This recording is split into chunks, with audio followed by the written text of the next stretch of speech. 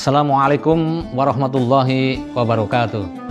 Rektor beserta Sivitas Akademika Universitas Ahmad Dahlan mengucapkan selamat menjalankan ibadah puasa Ramadan 1441 Hijriah. Mari kita menjalankan ibadah puasa Ramadan ini dengan hati yang damai, bersih, dan saling menghormati. Semoga di bulan suci dan penuh berkah ini kita dapat meningkatkan amal ibadah serta menjadikan kita sebagai manusia yang bertakwa dan bermanfaat bagi orang lain.